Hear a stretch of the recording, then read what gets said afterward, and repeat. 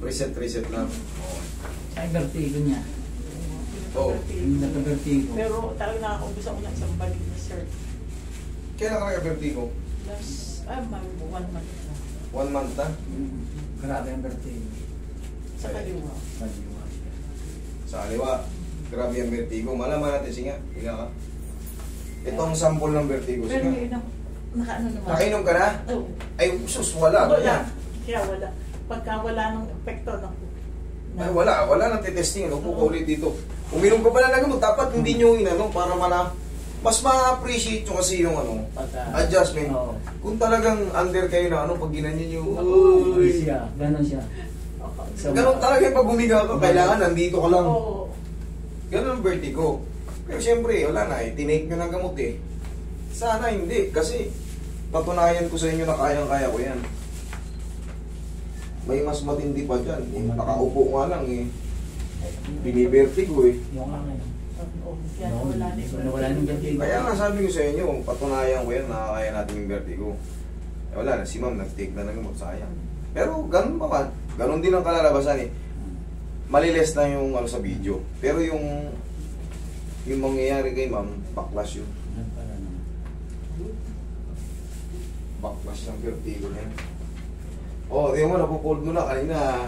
Tumayo ko pa diretso eh. Ah, okay. Ikaw ang patagilid. Meron kang synovial cyst. Yun lang yun. Ang synovial, meron kasi tinatawag na synovial membrane. Doon ka nagkaroon ng cyst banda rito sa kanan. Kaya nung pag ganun mo, umipit eh. Eh, hindi mo naman, ah, ay. Ayun talaga. Yanigin mo lang yung huwag kayong matakot, i-straight nyo yung paa nyo. Ganun lang, oh. Isa naman, ganunin kayo, masasaktan din kayo. Sarili ninyo na, konting aray lang. Tapos.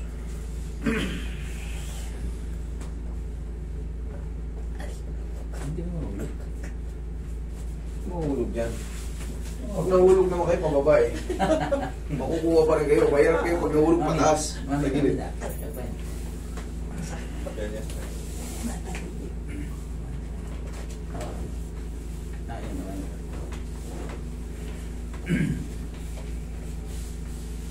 Magkano na ngayon ang... Ayan, with contrast pa yan. Magkano yung maray? Contrast. Tingin ko, 11. 11 kita mo. 11. Iba-iba talaga ang presyo niyan. Iba-iba ang presyo. Depende sa hospital na pupunta. Pero ang pinakamura niyan, 9. Yung pinaka-plain. Dati 7 lang eh. Sa mga public. Pero, tihaya.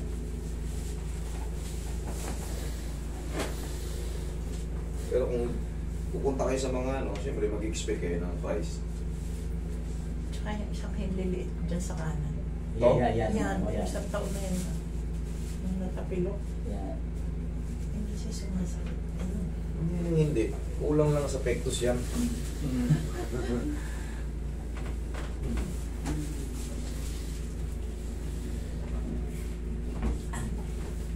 Okay, kaya nyo tumaba o may hilo kayo? Ha? Sige. Saglit lang naman tayo yung dalawa. O, tamo. Ikaw na nag-aalala eh, ngayon, hindi ka na-aalala yan. Kaya mo ma? Ay, Ayun na. Sige. Sige, nandito kami sa gilid, hindi ka malalaglag. Okay lang kayo?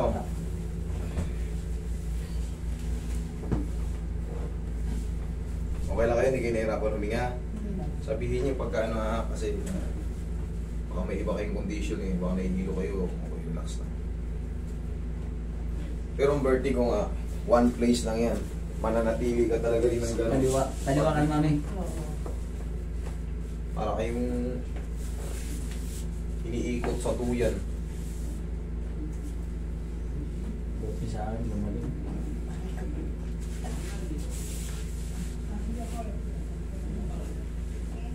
Pag na-traction kayo, tanggal yan. Kasi ipit yan dito sa mga artery dito. Dina, dinadamay ko lang yung buong katawan para... Kasi aabot yung traction, traction dito eh.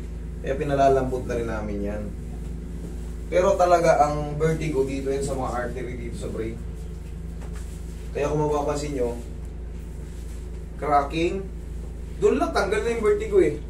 Dinadamay lang namin yan, kumbaga, para kumindahawan na rin buong katawan nyo. akin pagti, ganun ito. Buwan ba ako? Ang dami ko na inom na sa- nagpa-complain pa ako sa hospital. One week ako sa hospital. Wala Kasi nga, mi- minsan sumusumpo nga ng buwan yan eh. Talagang lula-lula ka.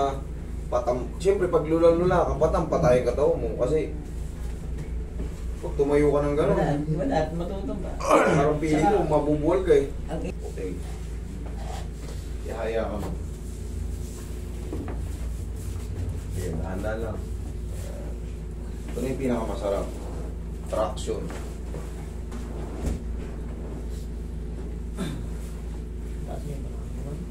Mag-walking-walking kayo. Okay po. Sabay-sabay kayo.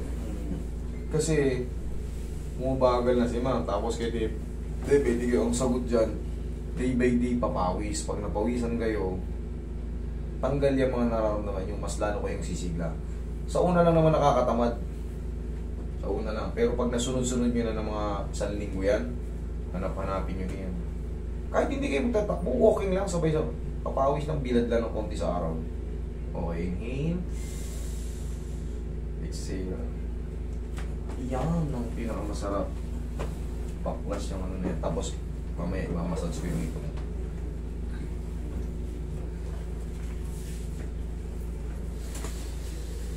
Mamaya par mag-vlog tayo ng ano.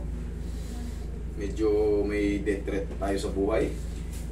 May death threat ako sa buhay. Yung, hindi naman hindi naman sa trabaho ko. Sa ibang ano. May mga nakakaalitan kami rito. Sa, na, actually hindi ako, yung nanay ko. Kaya yan, medyo may ano. Kagabi may pumapandaw-pandaw sa akin na suspicious man. Binidyo ko na na binidyo ko ng patago. Kaya gigpit kami dito, hindi kami magpapapasok ng mga ano. Maaaring yung mga lalaki, kapaan muna namin. Kasi, Baka bigla akong lapitan, nandito sa loob. Di ba? Hindi ako makaporma. Eh, siyempre, kung may baril siya,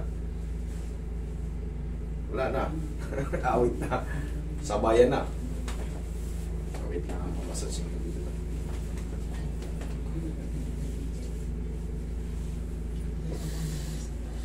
Saka pag minsan, busy na ako. Pag busy na,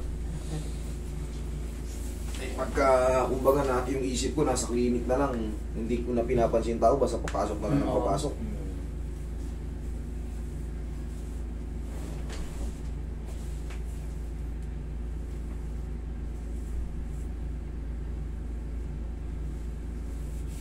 Lalo yung mga bagong pasyente, kayo, kilala na namin kayo. Na pasyente talaga kayo, eh, baka magpanggap na pasyente. Yung mga bako mo. Minsan, yung mga, yung mga tropang, yung mga tropang pulis, mga tropang ano, mga men in uniform, Siyempre, hindi ko kayo kilala lahat, kilala lahat. Pag pumapasok kayo dito, may dala kayong firearms. Iiwan na po muna natin dyan sa counter. Kasi, sure lang, Mm. mahirap na. Mamaya mag-a-announce kami dyan sa ano. Pangalawang beses na yun eh. Tinatimingan ako sa bilyaran.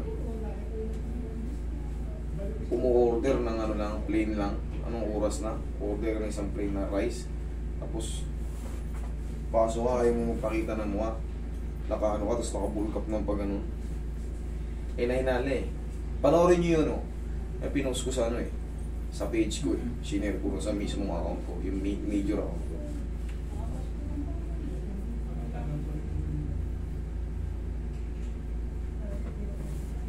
Under hearing kasi kami ngayon. eh.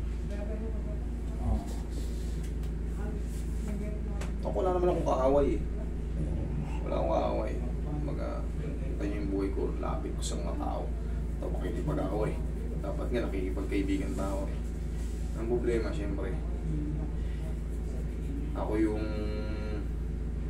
may pera, ako yung gumagastos sa demanda, eh, ibig akong patahimikin. Diba? Tsaka syempre, nanay ko yung sinaktan eh. Mm. Eh, tahimikin nanay ko, mga, mga ano lang din dyan. Ah,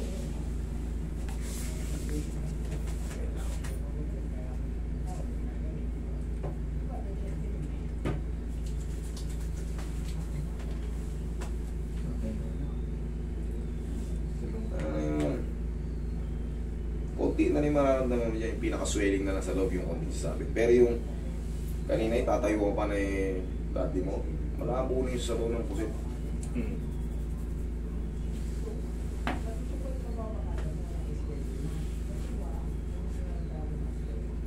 Pagka nagkakaroon siya ng vertigo, gantuin mo na yung ano nyo, sambunot-sambunutan mo lang siya ganyan.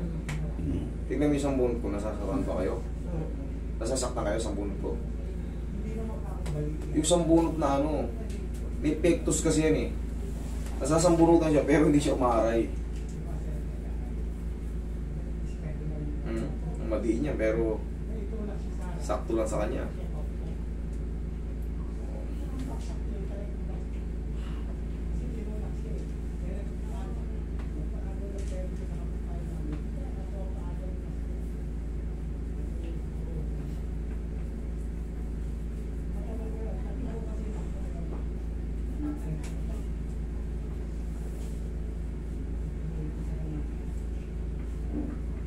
Oh, sayang kasi eh.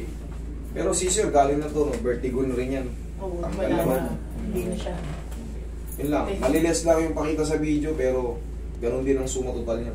Thank you very, very, very. Eh, thank